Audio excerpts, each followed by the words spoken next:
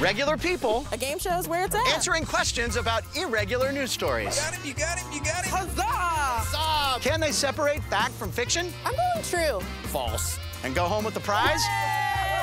Play along at home as we have some fun with the wildest and wackiest news stories from around the country Holy wow.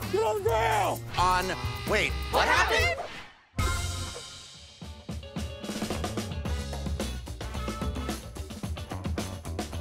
Frank Nicotero, and this is Wait, What Happened? Or is it Wait, What Happened? That is the question I'll be asking the people of Pittsburgh today about real news stories with unreal outcomes. I'm here hanging with Jake. Jake, you are the youngest of 15 kids? Yes. Oh my goodness, can you rattle off the names in under 10 seconds? Go. Uh, no. That's a lot of names to remember. What's it like being the youngest of 15? As far as it being, it's like it's cool because yeah, I'm I'm the baby, but you, you can't really get babied when there's a million of you. Well, listen, I'll tell you what. Let's brag to them. Why don't you win on a game show? You win some money, then you can be also the only game show winner. You know what? I could be the main character of the family. There you go. All right, let's get to it. Here's how this works. I'm going to ask you a series of questions about real news stories with unreal outcomes. For every question you get right, I'll give you 25 bucks. You ready? Yeah. All right, the Jake Show. Let's do it. It was exhausting. I was super dehydrated. We were all exhausted at the end of the day. A New England teen caught a fish this big her first ever fishing trip. That fish she caught, a 700 pound bluefin tuna. True or false? It took her and two other people 10 minutes to reel in the really big fish. How long? 10 minutes. True or false? See you reeling in, getting inside the story. I like it. So what do you think? He's casting, he's pulling in. True. The actual answer is false. Ah! I like I how you got it. inside the I was story. gonna say it because it's like you're gonna get tired. no, for 10 exactly. No, it tried 10 hours. Oh. No wonder she was exhausted and dehydrated. In fact, the fish was so strong, it pulled their boat eight miles. Yeah. Have you ever been fishing like that and caught a big fish? No, No? never been fishing. No. Never been fishing. Which brothers and sisters, which siblings would you want to help you reel the fish in? The ones that fish. The ones that fish. When we first heard about the, the theft that we had in New Berlin here, I don't think any of the officers knew that that was uh, really a thing. A person was caught on camera stealing $600 worth of something from three different restaurants in broad daylight. True or false? The video shows the alleged thief stealing used cooking oil from containers behind the restaurants.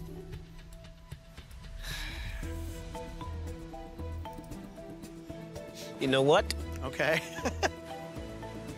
True. the correct answer is true. There you go. You got it. Yeah, that's 25 bucks. Way to go. Police arrested this guy and charged him with three counts of misdemeanor theft. You can actually see him sucking the oil out in broad daylight. And if you're wondering why this yellow grease, as it's called, nets so much money, it can be processed into biodiesel fuel. Biodiesel fuel. Say that three times fast. No. Biodiesel fuel, biodiesel fuel, biodiesel fuel. Boom. We got about a couple million, and I was like, oh, wait, this is, this is a thing. Tick tock, tick tock. A North Carolina airport operations specialist goes viral on social media, posting videos of himself dancing at work. True or false, the social media sensation is also a backup dancer for Beyonce. Tick tock, tick tock. You said? Yeah. Yes, I feel like this person does this, but false the Beyonce part. You really thought it through, and you are correct. It is false. Nice job, buddy. But speaking of Queen Bee, Beyonce was sharing his moves about the social media platform. The airport job was one he picked up during the pandemic. His real passion is dancing, and those jobs were hard to come by at that time. So he started making the dancing TikTok videos at work out of boredom, and from boredom to stardom, it seems. It was surreal. I was sitting right there at work when I found out. I had to like leave real quick. You know, I missed a couple of flights. So I was like, guys, this is really big. I gotta scram for a second. All right, Jake, you got 50 bucks. Let's try to get you up to 75 on question four. This question is a this or that. A man was walking his dog when he made a shocking discovery near his home outside of Pittsburgh. I was disgusted. Uh, this is my second that I've ever seen. Jake, what happened? What did the man find on the street? A rhinoceros head or a streaker in a Steelers helmet?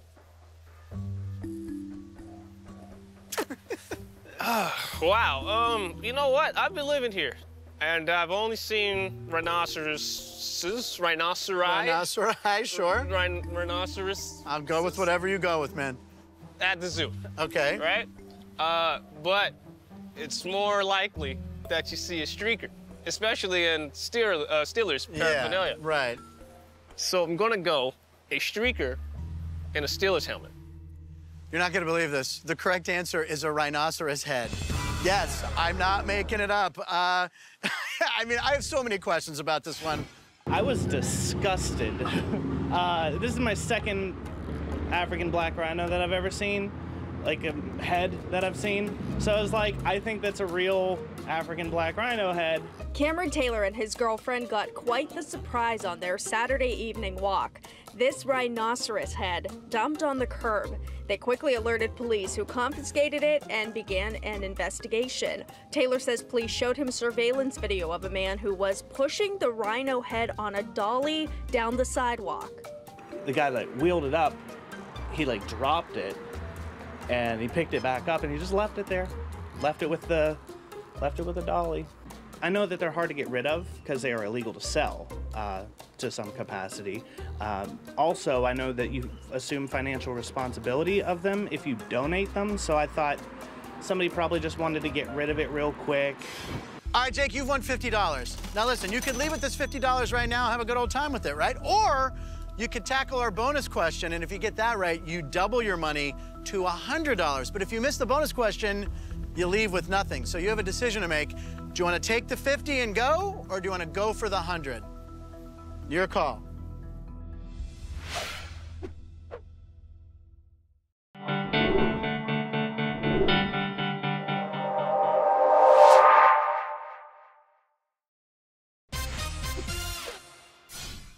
Jake, you've won $50. You could leave with this $50 right now, have a good old time with it, right? Or you double your money to $100. But if you miss the bonus question, you leave with nothing.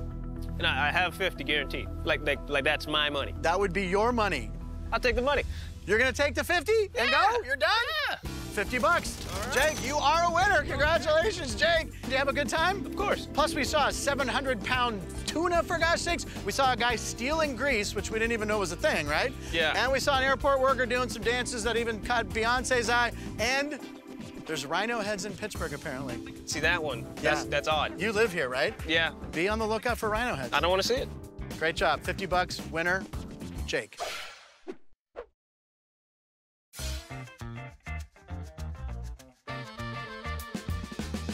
I'm here with Ellen. Ellen, you love museums. Tell me something about maybe one of your favorite local museums. Sure, there's this really cool museum. This guy, he like brought all the stuff from Germany and he built it like a German manor. Oh, wow. Yeah, and he had collected musical instruments that play themselves. Oh, which is a little spooky, right? You might think it's ghosts or something. But it wasn't. It was really cool. So you say. Now, I want to try to win you some money today, okay? Here's how this works. I'm going to ask you a series of questions about real news stories with unreal outcomes. For each question you get right, I give you 25 bucks. Sounds good. You ready? Mm-hmm. All right, let's play. You know, life is short. So I pull out a map and I mapped out this trip. And I says, I'm gonna take this trip one day. An Omaha man had already completed a 13,000 mile trip all over the US in his 60s. Then at age 77, he revealed plans to do it all over again and go even farther. So, what's his preferred mode of transportation? True or false? The man hits the open road on an all terrain vehicle. I would say false. The correct answer is false. That is right. So there you go. You got 25 bucks. What do you think it was? Uh, bicycle. It was a motorcycle, Okay, right? close. At 77, this man mapped out a cross country journey where he planned to ride 20,000 miles on his motorcycle. Now, you can ride all across the country in a car and nobody never say a word to you. You get on a motorcycle and every time you stop, you see little kids or somebody coming up, you know, they want to take pictures. 20,000 miles on a motorcycle. What's the longest trip you've ever taken? Uh, I don't know. Maybe to Europe, but I don't know how many miles. Did you do it on a motorcycle? I swam. You swam. Yeah. She's very talented, Ellen. Just trying to see if he'll break his tail off, um, like they do. Yep, there it goes. There's a defense mechanism. and then he just carries on. Right here in Pittsburgh, an evasive type of earthworm that can quickly reproduce without a mate made its presence known in 2021. The worm can break off its own tail and even jump. True or false, it's most commonly known as a crazy jumping worm. Crazy jumping worm. Yeah. I would say that is true. That is a correct answer. There you go. You're two for I two. don't know. It just sounded like something crazy, you know? These worms are also sometimes referred to as an Asian jumping worm, crazy snake worms, and Alabama jumpers. These worms have such hops that a local artisanal brewery is considering making an experimental IPA with them. I kid, okay? Uh, This is false. yeah. No one, no one wants to try I'm a not worm beer. drink Imagine that. here's a, a beer made out of worms. Try it. Take a sip. Take I a say sip. no. Get down from there. Get down. Get down from there. Right now. Go. Go. Go. Go. What would you do if you saw a bear on your property? A North Carolina woman put lessons from her former career to use when she found a bear on her deck. True or false, this woman used to be a school teacher and decided to use her teacher voice to shoo the bear away. Uh, being a former teacher, I would say that would probably work, so I'd say true. And you are correct. Correct. Way to go. You're three for three. The exchange is caught on camera. Her main reason for ordering the bear to leave in her sternest teacher voice, she was afraid for her bird feeders. I mean, you'd get down Yeah, too if you I'd heard that mad. teacher voice. Right. You get down from my porch right now. Go. Go. What do you think you're doing on my porch? You get down. Go. Go. How dare you? This next question is a this or that. As we all know, kids love parties, but some Massachusetts third graders planned an extra surprising surprise party. I bet like most people in classes at schools would like not like just throw birthday parties for random people that drive by. Who got the drive-by party? Who was the party for? A bus driver or a UPS driver? Hmm. You would think because it's a bunch of kids, it would be a bus driver, but I know that UPS drivers do a lot as well. So I'm going to pick UPS driver. If you get UPS driver, if that's right, you'd have a perfect score. You- You'd have a hundred bucks. That would be nice. you Well, know. it is nice because you're right. It is Oh, a UPS that's driver. great. Congratulations, That's awesome. Ellen. The party these kids threw for the bus driver gives new meaning to special delivery. Aw, isn't that nice? Get ready! Carly's coming! I pulled into the parking lot and all the kids were here lined up. They all made um, signs that said Happy 30th Birthday, Tyler. They designed hats. They made these incredible stop action videos. Um, they gave me cupcakes, gifts, snacks. Who made this one for me? Was it Tommy? I bet like most people in classes at schools would like not like just throw birthday parties for random people that drive by. It was a moment I'll remember forever. Um, and yeah, it was just really incredible. Ellen, you're four for four. You've earned $100. Oh, that's great. Okay, now you could walk away right now with this 100 bucks, or you could tackle the bonus question, and if you get it right, I double your money to $200. Hmm. But if you get it wrong, you go home with nothing. So my question to you is, walk with 100 right now, or gamble and go double or nothing on the bonus question. What do you want to do? I think I want to go for it. You're going for it. I'm going for it. You're for going it. for the 200 yeah. bucks. All right, Ellen, let's do this. Okay. A New Hampshire woman has racked up quite the following on social media for hiking the Granite State's 48 tallest peaks with her cuddly soft rescue pet in her backpack. There's a lot of people that are like, oh my gosh, please tell me that's not it. Like, what are you gonna do next? Please keep posting. We love following your adventures. And Here's my question to you for $200, Ellen. Is her rescue pet A, a cat, B, an iguana, or C, a teacup pig? Think about it, 200 bucks.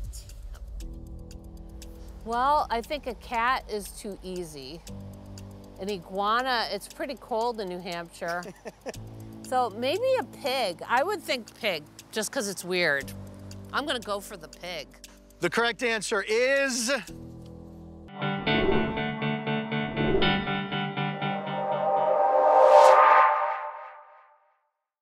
A New Hampshire woman has racked up quite the following on social media for hiking the Granite State's 48 tallest peaks with her cuddly soft rescue pet in her backpack.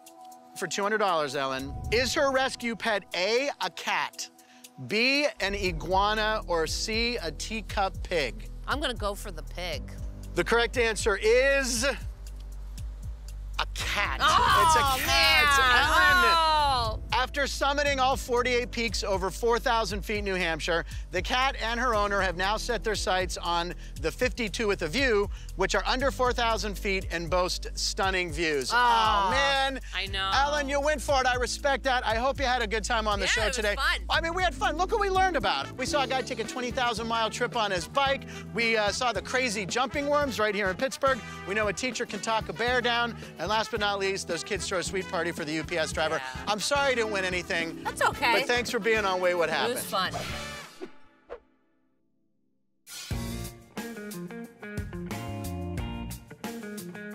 I'm here with the lovely Jessica. Jessica, I hear you like spending time with your family on the water, right? Yes, I do. Um, city of Bridges, there's lots of water, so Yes, we're, there is. We're very drawn to the water, but we love to go fishing for walleye. Okay. So that brings us to Erie. Okay. Oh, well, Erie's great. And what's the size of the biggest fish you ever caught? Show me.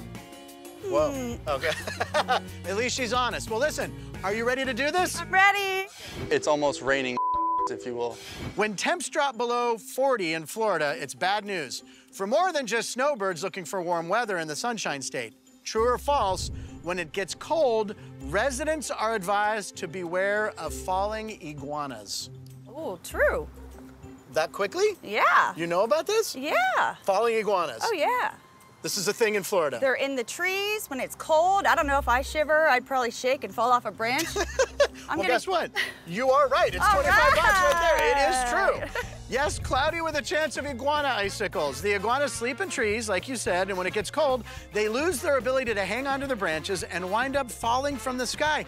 It takes hours in the warmer sun for them to regain consciousness and spring back to life. Unfortunately, if the fall is too high, the landing can be fatal. I guess that's why you don't see iguanas roaming the streets of Pittsburgh. I mean, we're glad that that isn't a thing, right? I am glad that's not a thing. That would kind of creep me out. All right, show me your reaction if an iguana fell on you right now. Three, two, one, go. Boom. Oh my gosh. Okay, right, okay. All the firefighters jumped out, pulled the drain, and pulled him in out from inside the storm drain. Albuquerque firefighters rescued a man trapped several feet underground in a storm drain. But why was this man down there in the first place? True or false? The man is a method actor and he was preparing for a role as a teenage mutant ninja turtle. That would be amazing. but I'm gonna say false. That's a correct answer. Very good. That is not true. You get 50 bucks. All right. You're two for two. he was actually looking for his neighbor's missing dog. We got a couple of tools or Halligan, and we pried open that uh, metal grate. A little unusual, I would say so. It doesn't happen very often. Can you name the Ninja Turtles? I can. Go. Leonardo, Michelangelo, Donatello, Raphael. How did you know those so quickly? I have two boys that I'm actually Donatello, Okay. and we're all assigned names. There's, I'm a family of you know four. What would I so be? Michelangelo for sure. We've never been dog owners before, and he's just been amazing. But for him to save our lives like that, um, it's just, I mean, he's just, he's a family. Turbo the dog really lived up to his name when he quickly reacted in a crisis and managed to rescue his forever family. True or false? The dog saved his Savannah, Georgia family from an angry mail carrier. Ooh, I'm gonna say true.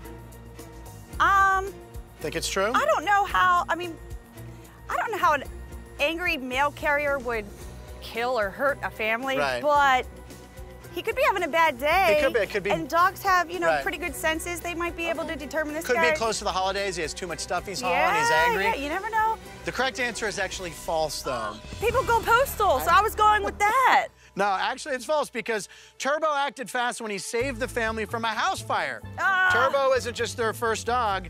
He apparently is a first responder, too. His barking alerted the family to the danger, saving the day. Our dog just started barking, and he doesn't bark a lot. I mean, if he does, it's usually a cat outside or something, but he doesn't go on and on like he was. Okay, this question is a this or that. In Massachusetts, these brothers do something truly moving. He's got this idea. He wants to put this on wheels, and I'm like, that sounds great. What happened? What did they put on wheels? A Tom Brady museum or an Irish pub?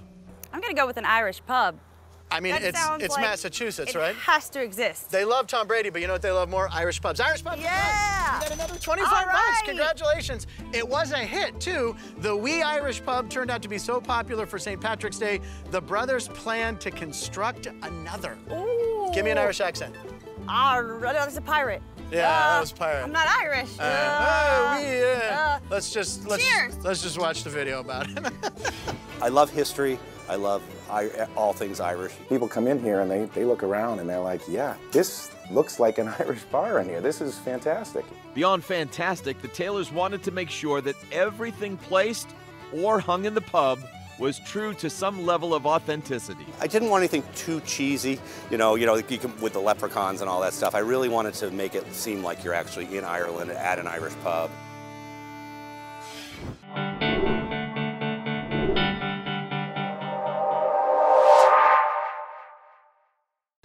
Okay, Jessica, you've won $75. Okay, you could take this money and leave right now. Be a winner on a game show, 75 bucks, or you can try and tackle our bonus question and double your money to $150. But if you miss the question, you leave with nothing. So you have a decision to make. Walk with the 75 or go for the gusto and try to try to bank 150 bucks. I gotta take the money and run. You're gonna take the I money and gotta run? take the money and You run. want 75 bucks right now? Boom, $75 right there. Congratulations, Thank Jessica. so I love much. it. You've been such a great player. You had so much fun. And we saw so many cool things. We saw iguanas falling out of trees. We saw a guy trapped in a storm drain, right? We saw Turbo the dog rescue a family from a fire. And then uh, we saw Jessica fill her pockets with money.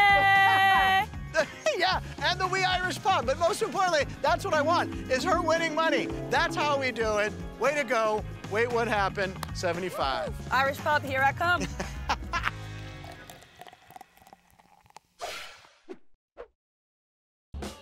Hey, how'd you do where you're watching the show? Could you separate fact from fiction? Well, if so, you get a gold star. I mean, I can't pass money along to you through the screen. Well, not yet. Thanks for watching. Wait, what happened?